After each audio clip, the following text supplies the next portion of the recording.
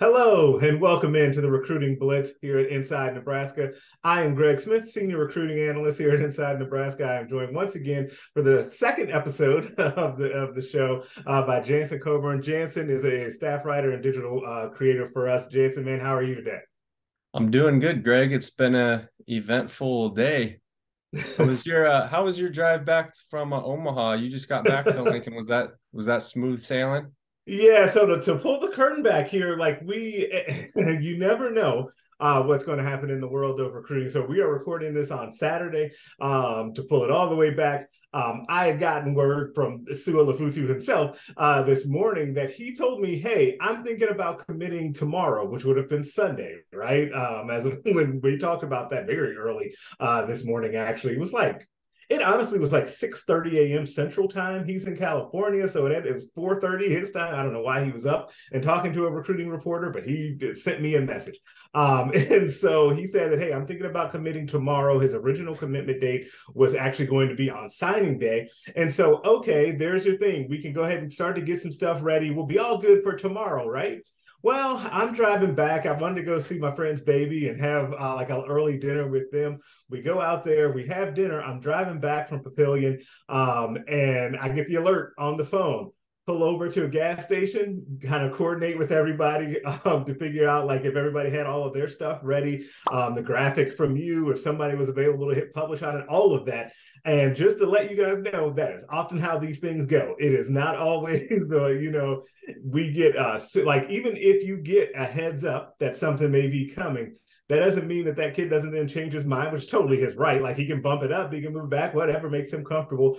Um, but yeah, this one was was a little different. So it was a very eventful uh, drive back from Papillion. Got back on the road and made it here on time. I should add uh, to do the pod with with Jansen tonight.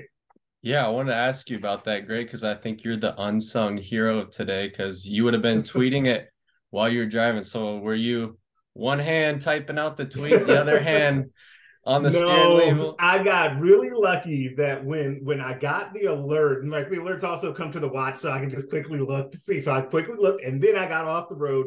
Um, there was a gas station, and luckily that was right there, so I pulled on over, um, and we can now add that to the list of spots between Omaha and Lincoln that I've done work at. Um, there's a couple other gas stations right off of I-80 um, that I pulled off of. There's a McDonald's um, that I've definitely used their Wi-Fi um, to do some stuff as well. So yeah, it, it, the life of a recruiting reporter um, is always a little eventful, even when you have the info, because we had posted on the site just this morning that I, I put my FutureCast in for Sua to be in the class. I just thought it was going to be tomorrow. Uh, but we definitely have another fun episode planned for you guys today with plenty of topics uh, for us to blitz through. So what do you got first for us, Jansen? Yeah, Greg, you gotta love the the wild west of recruiting, but this this Always. sets us up nicely to talk about what we were originally going to talk about, which was their visit weekend and how they had they had six visitors and five of them were uncommitted, so they're now five for five. Uh, let's just start with Sua. Talk about uh, his commitment, how that all came to be. I know you you were thrown off a little bit by it. We all were with the timeline, but what does his commitment mean for Nebraska? Yeah, the timeline itself was was a little bit of a throw off. The actual commitment itself was not. I think that we always, I personally, I thought that it was heading this way towards him committing committing to Nebraska. Now he was previously committed to Washington um, before he was committed to Nebraska. It had been a while, uh, months now since he had left Washington's class. Um, and he's a kid that has that plays on the defensive line at a powerhouse program out in California, uh, Don Bosco Prep um, out there that has like I think the number one defensive player in the country, I believe, or the defensive lineman um, in the country is on his team. So like that team, I think had like it's they have so many scholarship players that come off of that team on a yearly basis. So he's just the latest one. Um, but he's 6'4, 295 is what we have him listed on Rivals. I do think that the plan is eventually to kind of bulk him up, um, get him in the lab with Corey Campbell, the strength coach, um, and put some additional weight on him and get him ready to play interior and be more of an athletic interior guy uh, for Nebraska's defense. And he has the tools to do that. We've seen that in kind of the camp setting um, throughout you know the times that he's been in camps he was slowed down a little bit by injuries um, throughout his high school career so it, it's more of a it's not necessarily a project because when he's played, he's been good. Um, it's more of a, a, flyer just based on the the actual injury history that he's had and trying to make sure that he, they can get him healthy and keep him out there. Uh, but it's an interesting get for a team that needs to continue to stockpile high school defensive linemen. Yeah, interesting. You mentioned St. John Bosco High School. I mentioned in the last episode I'm from California, and we actually played St. John Bosco in the playoffs, and it was not pretty then. So they're loaded with talent. Uh, there year. were there were five other guys that were on that visit, and the class is uh, five guys heavier now with players, and you got to talk to all of them. So let's run through those guys that were there last weekend. What did you hear just about the whole visit weekend amongst all the recruits? Yeah, I think that one to, take it overall first, and we'll work its way down, like drill down from each guy. Like I think the big overall feel um, is that this these guys really like these the recruits and their families really really like this staff. Like that's something that continues to come up about how personable they are um, and about how good they are at building relationships with these recruits when they're on campus. Like it's remarkable how consistent the messaging is from recruits about how much they like this staff. Like it's not and and you know for them a lot of these guys they're new to being recruited by them because so many of them came from the nfl right? And so it's not like they had previous relationships with these guys um, in almost every case. So that's really kind of interesting to see and i think something neat to think about as a Husker fan, like moving forward for the 2024 class, um, is that relationship building and the ability to be able to do that. Now, Jacob Hood, um, the offensive lineman from Georgia, the latest Georgia transfer, the, they call them corn dogs um, online. Is that the name that we've officially settled on with all of these Georgia transfers? The third one uh, for Nebraska uh, this offseason, but he's a big man um, at 6'7, 6'8, 300 plus pounds. Um, he's raw because he did not play a ton at Georgia this past year. Um, he, he was a redshirt freshman. He's a redshirt freshman right now, um, coming out of Georgia. So he's got his full time eligibility left. Um, and I think for him, just like everyone else, that family feel um, is something that he really felt, and he wanted to get a shake and a chance to be able to show what he can do. I think it, it gets really tough at a place like Georgia to really fight and claw your way to that to that top spot to be able to start because they bring in so much talent um, on a yearly basis. So I kind of understand how he ended up in that situation. Um, probably to me the most interesting guy that was on that visit weekend that did end up committing, like they all did, um, was uh, Ishmael Smith Flores, the tight end, hybrid tight end um, out of Arlington High School. And Arlington High School sounds familiar because that is Bob Wager's uh, former school. So both him and Jeremiah Charles, the wide receiver that also committed, both came from that high school. So Wager had a relationship with him, uh, with them both. And the thing that really interests me most about Smith Flores is that he talked about how he loved his time sitting down with um, Satterfield, Marcus Satterfield, the offensive coordinator, and how he explained to to Ishmael about how he would be utilized in the offense. Now he said that you know Satterfield pitched him on lining up some in the backfield, being kind of in line, being an H back, going even out wide, and playing a little bit of like traditional wide receiver. So really that versatile type of playmaker that you see a lot in college football right now, right? Like you see that you see it in the NFL. I think of Travis Kelce and those those guys um, that you see running around in the NFL. Like that's the type of player that they believe that he can be. Um, and, and, so that'll be really interesting to see how he goes or how he progresses moving forward. Now, his teammate um, Jeremiah Charles is a guy who has not played football very long. I think this year was just his first year. And it's a really neat story of how they found him because of Wager, but then Wager, Matt Rhule, Evan Cooper, the secondaries coach, all went down to see them play basketball at Arlington High um, the Tuesday before his official visit, and he threw down three or four dunks.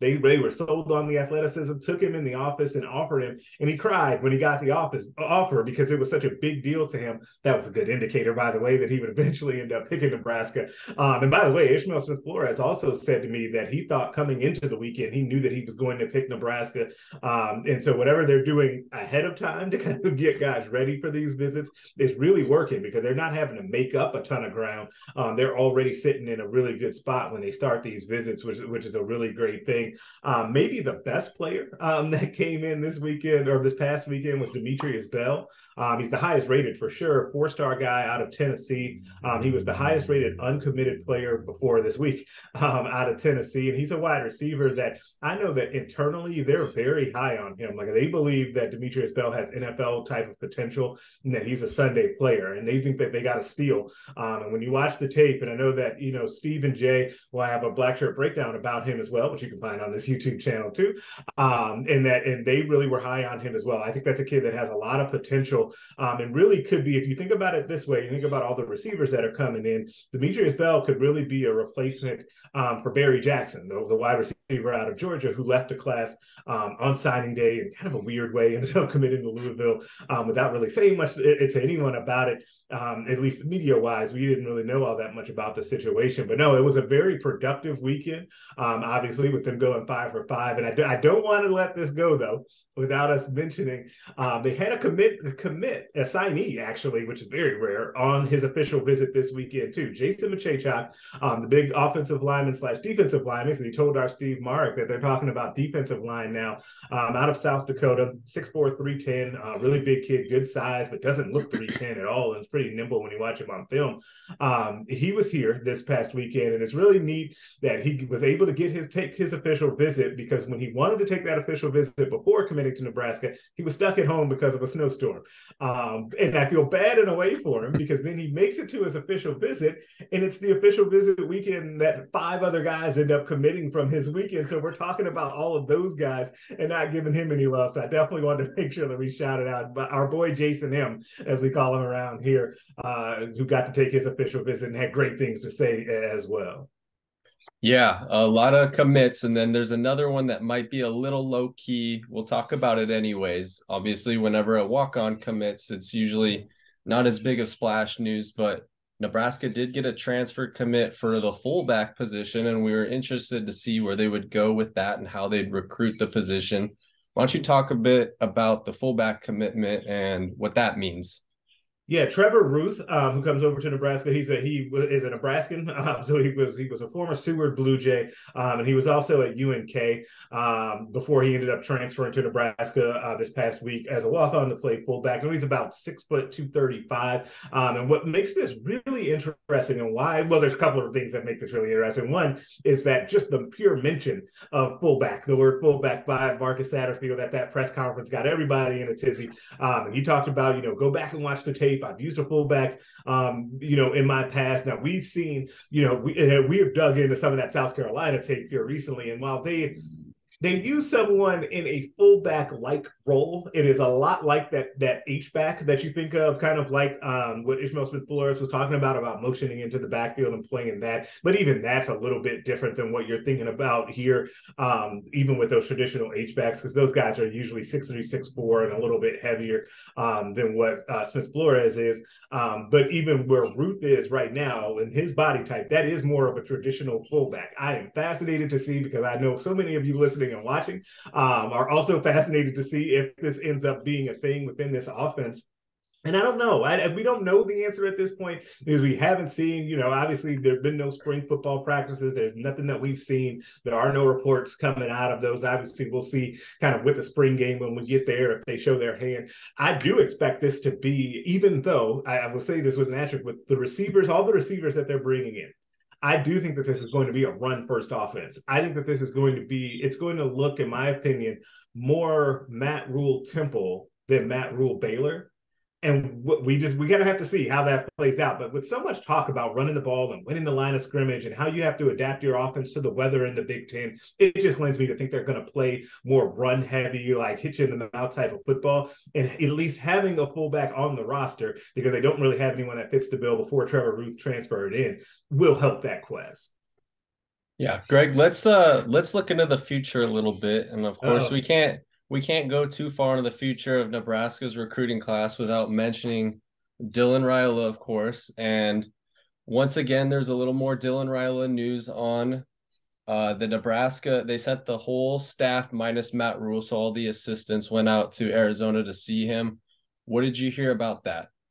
Yeah, so first, it, it, it's a really it's an interesting thing, and, and I think that you have to on one hand, if you're a fan seeing that, you go, okay, they're really serious about this recruitment, which obviously they are. They have communicated to him, and this has been reported, um, uh, like uh, almost everywhere now. Like, and we did report this that the, Nebraska has told Dylan that he that he is their number one target for the 2024 class. Like, he is it. He's the number one guy, and they they want him more than anyone, right? Which is great to hear if you're a kid. I bet that that feels good, right? But it's not like it's uncommon because he is the number one player in the entire country, and he's that for a reason. He's that good. But what I thought when I first heard that is that means them doing this means that sending all, you know, every assistant coach out there to, to see his high school or to be at his high school and say hi slash bump into him, whatever the rules allow. That says that they're in the race.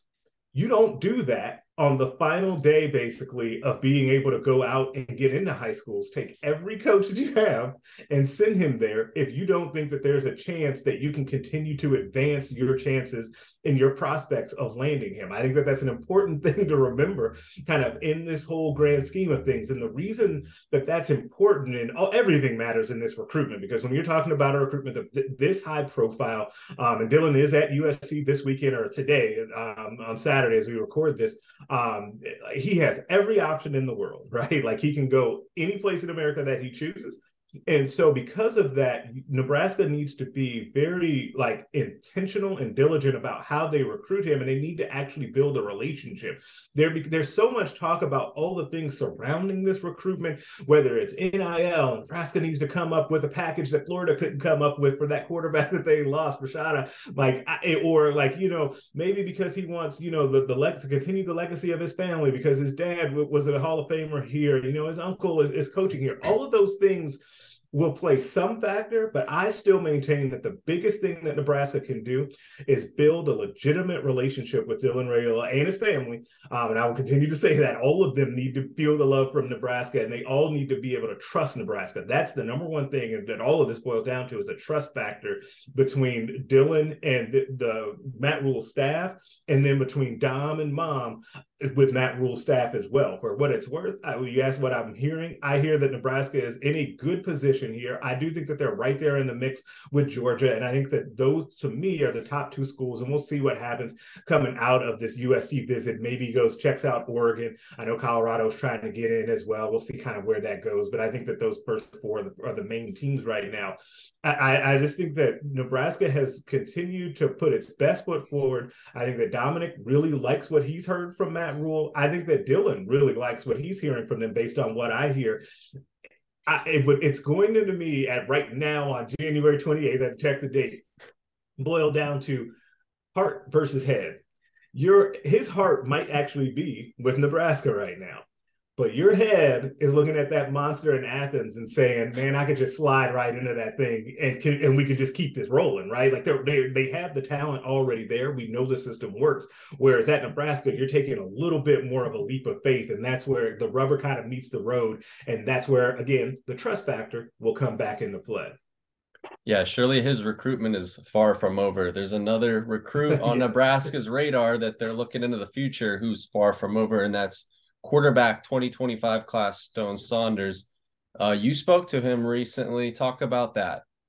Yeah, he's a really interesting prospect. And it's funny because, you know, when you look at a 2025 quarterback, I posted him on the board and I keep saying, I said it on the board. I will say it here on our Insiders board. Um, and I'll say it again here on this podcast. Like, it's a big deal that he was on campus. Like, yes, it's too early in the process for 25s to be all of them to be rated. So that's why he's not rated yet. But he's going to be a strong four star um, quarterback um, by the time they do start to rate. And this will be here over the next couple of months when they start rating 25s, once they close the door on the 23 group. Um, he's a kid that won the state championship, helped win his team win, win the state championship. He threw over 50 touchdowns um, this year for his team, 60, I think it was 69% completion percentage. And they're not playing in like in a small division either out there in Pennsylvania. Um, and it's he's got some connections to the staff. Um, Adam DiMichele is, an offensive analyst with the staff that has been with Rhule at various spots. Um, he's from the same area um, that the quarterback is from in Pennsylvania.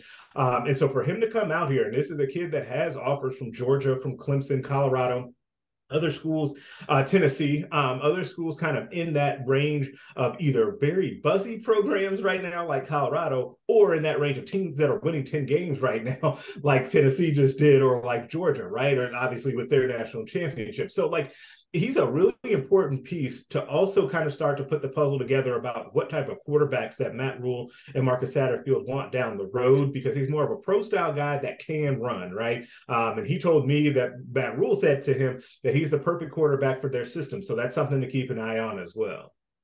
All right, let's uh, shift back to the more present times now. Nebraska had one more visit weekend right before the signing day. And as far as we know, hmm. there was only one uncommitted prospect that they brought on campus. That's DeAndre Barnes.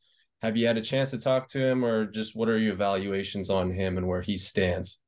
Yeah, so I, I, talked to him before the visit because that, as of this recording, is on campus, uh, probably hanging out with players as of right now um, when we're recording. Um, and he was really excited. I think the thing he is from um, Regis Jesuit High School in Colorado, which may sound familiar uh, because that is the high school that Hayden Moore, the former uh, linebacker commit for Nebraska for this class, who decommitted and committed to Michigan, um, signed with Michigan. They they play for the same high school team. There's been other players on that team because they always have a good team um, that have also been either on visits to Nebraska. And he told me that a lot of those guys have told him that, you know, Nebraska is different. What you're going to see at Nebraska and the types of facilities and the fan support and all of that is going to be a different level um, than some of the other places that you've seen. So he was ready to see that um, for himself in person and how much different it is kind of at a Big Ten school and the level of support um, that, that that is given to those programs. So it'll be interesting to see. He's another guy um, that is a, is a long athletic guy that he's a he's a state champion in track. I feel like we can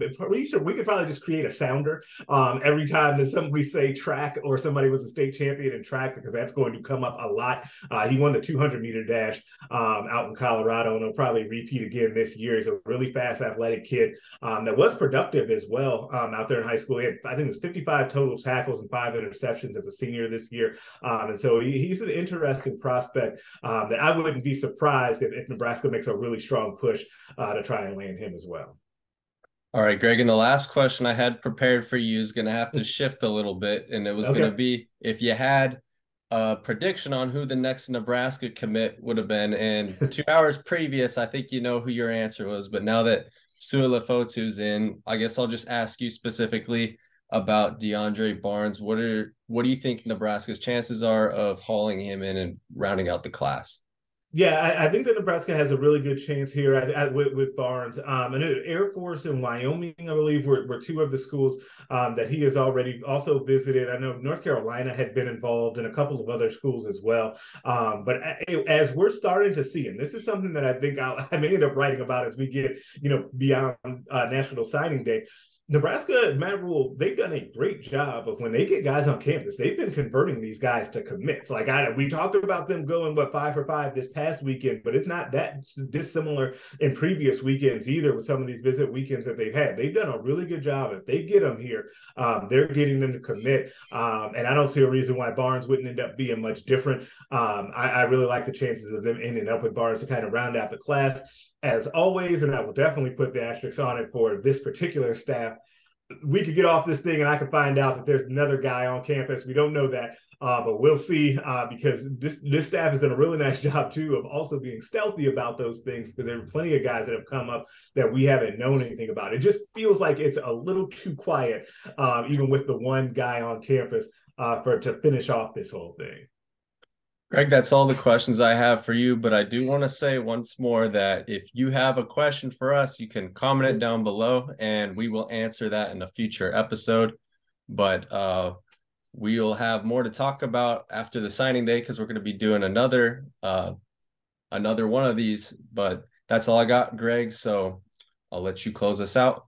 Yeah, we uh, yeah bonus episode coming up next week uh, to wrap up signing day. We'll have plenty to talk about as we get through that because uh, boy, there's been a lot that has happened with between the the recent run of commitments to the the, the regular signing class and then all of the transfers that have come in. Uh, well, again, like Jansen said, we'll also have your questions in the next episode as well um, as we wrap up Matt Rhule's. I guess his first signing class slash transition class. The 24 will be the first full one, but as we wrap up Matt Rhule's uh, transition class here. Uh, make sure you're keeping it locked at Inside Nebraska, nebraska.rivals.com. Like and subscribe to this YouTube or like this video, subscribe to the YouTube channel so make sure you get these videos directly in your feed, and we will catch you guys next time.